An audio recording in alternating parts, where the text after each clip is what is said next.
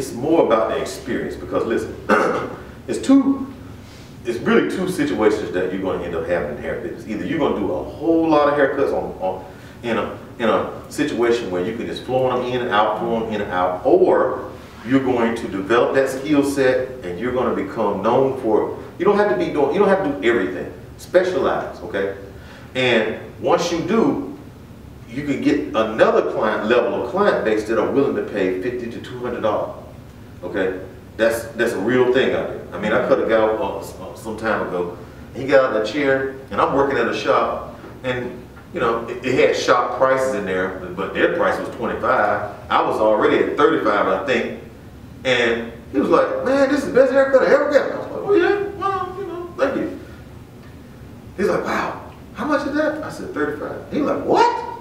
And, and he looked like she looking around, right? What? Like, what? And he was so excited. I was like, how much you pay for your last haircut?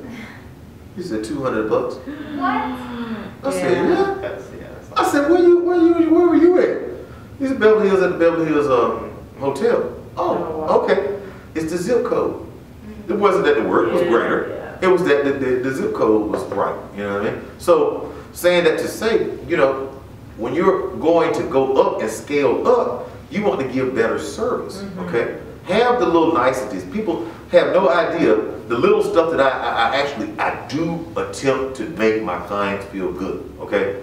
Who who in here got my phone number? And if you called me, did I not answer the phone? You did. yeah. Right. That's that's intentional. I want to make sure that you can talk to me.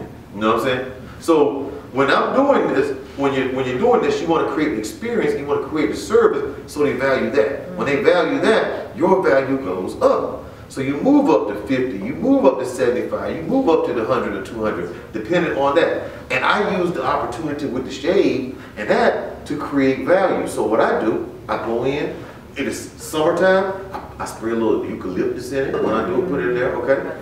Uh, put it on there, hot towel, okay? The next one, I'll take and put some Noxzema on before. Yeah. Give them that little menthol vibe going on, okay? It also makes the hair soften and swell and stand straight up so that when you put a shave on it, it's gonna make it even crisper than anything because now you have no oil, or moisture all this the way, right? And then I hot towel them with that, and then I clean them up good, and then I come back and I do that razor line, and it makes, oh, when they look at the mirror, you know what I mean? So that gives, when you're doing that and someone else is not doing that, you have superior service, you can charge more, nobody's whining about the price, they're ready to pay what you got because if they go somewhere else, they're gonna understand the difference. Now, here's some of the little things that they don't know about, right? Because I pay attention, I'm an active listener, right? So, um, guy comes in, now, one of my little hobbies, amongst other things, is I like music and I DJ sometimes, right? Oh, nice. So everybody, I have my own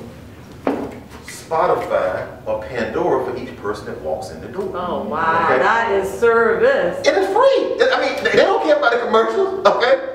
It's free. Yeah. That's all you gotta do. It's a Tom, this is his favorite Pandora. And I listen to the conversation that we're talking about and I apply it to that. So I got a guy, he's uh his name is Big, one of my favorite clients, right? Big is East Indian. So he likes the Punjabi station. So when they come in, dun, dun, dun, dun, dun, dun, he was right? So one day I was going to use the bathroom, right?